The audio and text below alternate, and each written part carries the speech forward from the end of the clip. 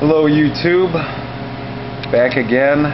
This is a diagram of the last wheel I wanted to make the idea was to have magnets spinning on both sides of a coil to pull the flux through better. Well, here's what I came up with.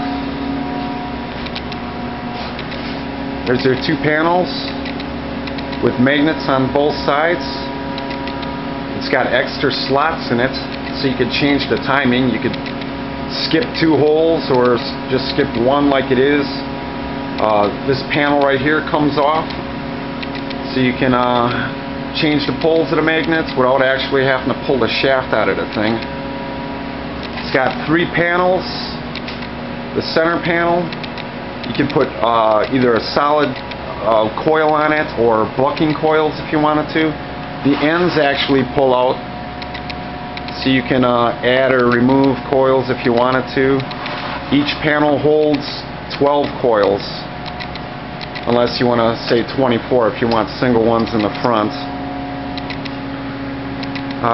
Let's see. The wheel basically is made out of cutting boards from uh, Walmart. There's two cutting boards on each one, the big ones because they're 15 inches. And if you're wondering how to cut anything round, whether it be wood or plastic, if you have a table saw, you don't mind drilling a hole through the table on it, just go ahead, drill a hole, whatever measurement you want, with the blade all the way down. You run a peg through the hole, and you slowly crank the blade up, spinning your uh, piece of wood or whatever.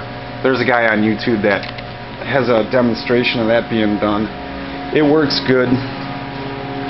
On the side here, I got a little tool, which is basically a big screwdriver cut off with a, an Allen end welded onto it so you can actually get in there and loosen this wheel and then this will slide away so if, so you could change the coils on the inside um, the half inch shaft is it's not keyed so it slides pretty easy.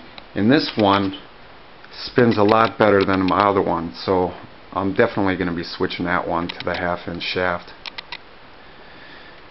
But anyway this is it. Pretty much done. I just have to make some plates for the bottom to lock the panels in place and then I should have her up and running this ought to be fun to experiment with. Because I mean you could even you could even put welding rod in here for iron cores if you wanted to